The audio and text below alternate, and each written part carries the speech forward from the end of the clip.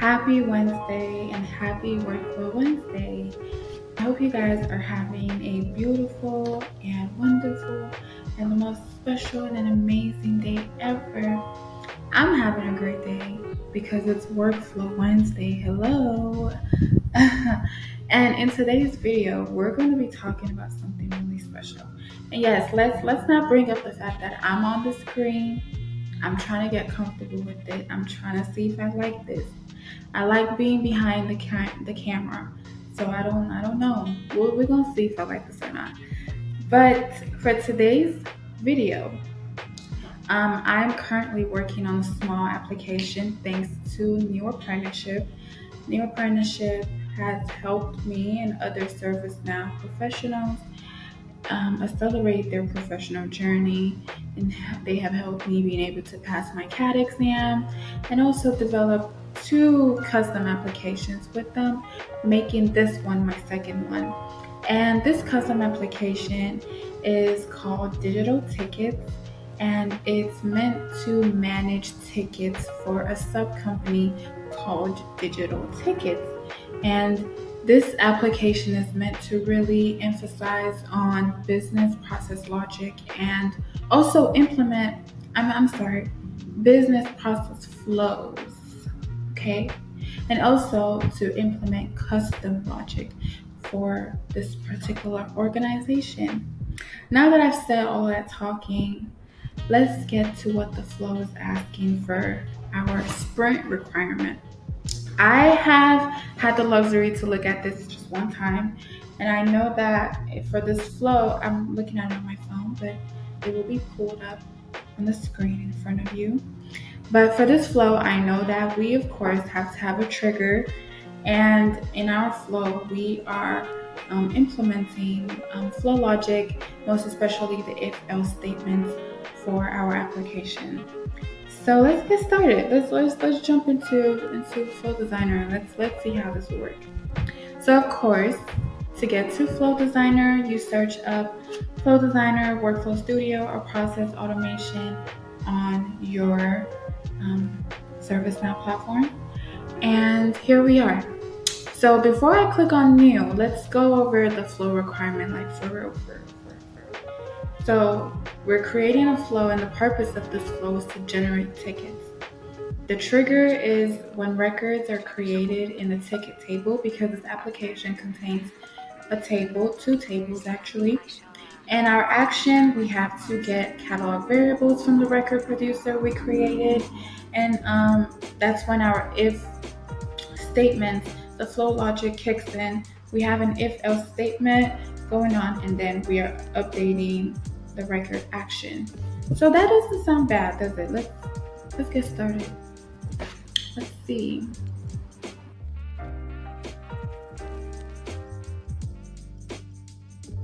So here we are. I have to make myself smaller so we can see the full screen. You click on edit flow and our first requirement is to set a trigger. So it says when records are created.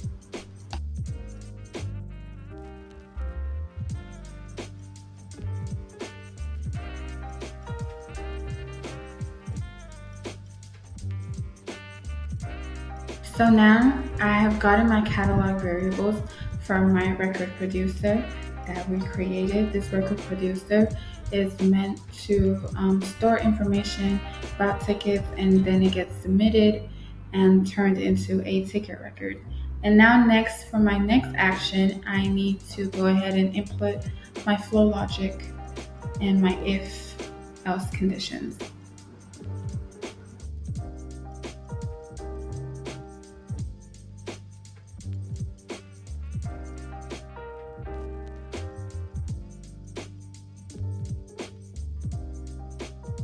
Need to create another flow logic, which is our else statement. So it's saying else, else if it's not warranty, if the ticket type is anything other than warranty, then we are updating our record.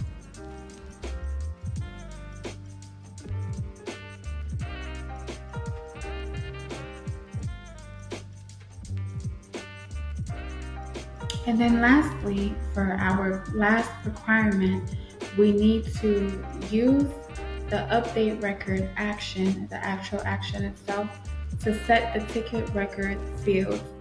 Um, based on this requirement, we need to set description field. I'm looking at the requirement on my phone, by the way. Description field, um, device, and work notes field on the ticket form, on the ticket record. So.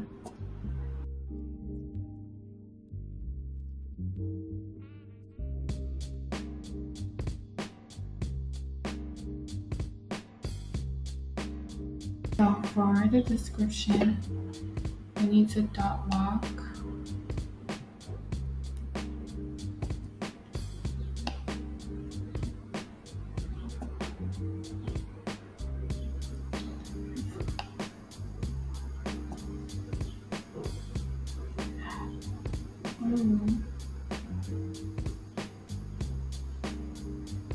Is there a type here? Hold on.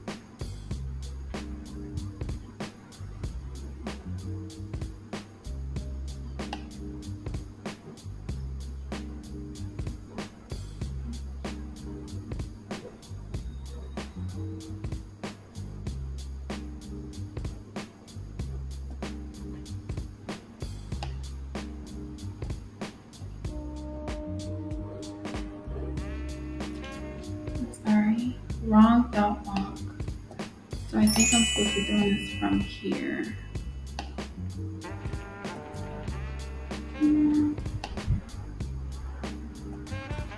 And then also priority.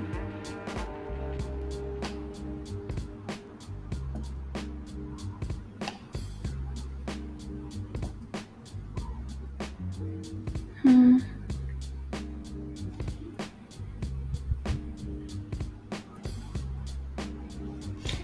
That's it. That's all we need to do. So we click on done. So let's just quickly go over what we did. Um, this flow is triggered whenever tickets get created. And what this does is um, we're getting our, to generate and update a ticket, we're getting the catalog variables from ticket producer. And then we're checking if um, the variables in ticket producer, if the ticket type is warranty, then certain fields get updated on our created ticket record, or else certain fields get updated on the ticket record. And then finally, we're doing a overall general update of the record itself. So let's activate the flow and test it. Really, let's quickly create a new one. I haven't used this action before, so this is pretty cool. press submit.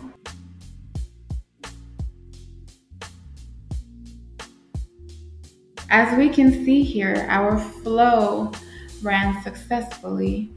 As we can see, the reason why these two were not ran was because our record producer, we have to physically select um, the type to be warranty for it to um, perform this action. That's why our else statement um, got completed instead. So let's just take a quick look at the ticket record. And here we go. Our ticket works. So our ticket, our state got updated, but we see that our description, there's something wrong. It's only populating the priority and not the other thing. And that's not supposed to happen. So we need to figure out and see what the problem is. I'm pretty sure it's because I used um, get catalog variables instead of, um, so we'll see. Oh, no, it's not. The reason why this didn't run, our, t- our record works. The reason why this updated like this was because these other two um, fields are from our record producer. So we would need to submit a record producer um, to see the rest of these two fields that we want to populate for it to populate. But we can quickly try that and see. So let's try really quick. So we go to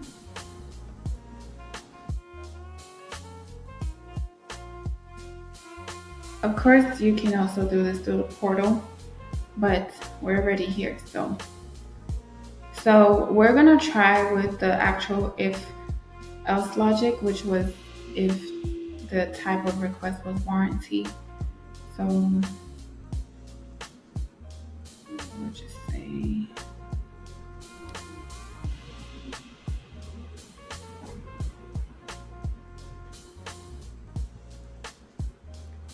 Okay, guys, it works, but there's still a problem. Can somebody tell me what the problem is? It's given us the sys ID. Flow works, but there's one small problem. It is giving us the sys ID of the device. Because the device is a request, it's a reference, it's giving us the sys ID, so we need to dot walk to the device name. Makes sense? So our flow works. Everything is perfect. We, we did a great job. So this is real emphasis on building in public. So let's quickly fix that. Um, I think our problem is over here. Yeah. And there we have it. That's all we need to fix. And we dot walk to the name because I need to double check. And that's it. And you press done. It automatically saves.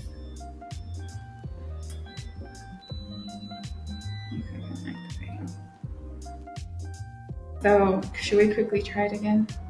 Let's quickly try it again. At least our stuff works, right? That's all that matters. So it should definitely be all fine and dandy this time.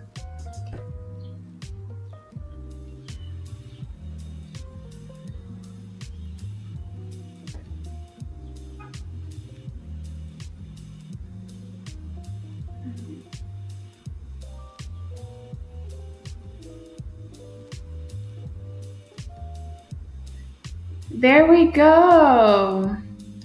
Our flow works. Of course, we're missing a, but it works. Go you, go us. It works, congratulations. Of course, we can go back and fix and add the little asterisks. Not the asterisks, um, whatever these the slashes. But it works. It works perfect. It works amazing. You did a great job. We did a great job. So yay! I hope um, this video, I hope you learned or had fun doing this with me as I had fun doing this myself and learning from my mistakes. Um, and I will see you in the next one. I hope you guys have a wonderful and an amazing rest of your day. And um, I would be including product documentations on Flow Designer, Flow Logic, and let me know what you think and if you would be practicing this on your flow. And I'll see you next time. Bye.